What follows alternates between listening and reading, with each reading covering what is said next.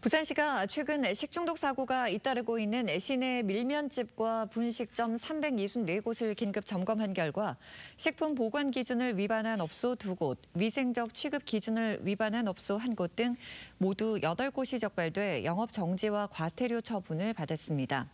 수거된 김밥 34건에서는 살모넬라균과 장출혈성 대장균 수치가 적합 판정을 받았지만 위생 취급, 취급 기준과 보관 표시 기준 등을 어겨 행정 처분됐습니다. 지난 6월과 7월 부산에서는 서구의 김밥집과 남구와 연제구의 밀면집에서 살모넬라균으로 인한 집단 식중독 사고가 잇따랐습니다.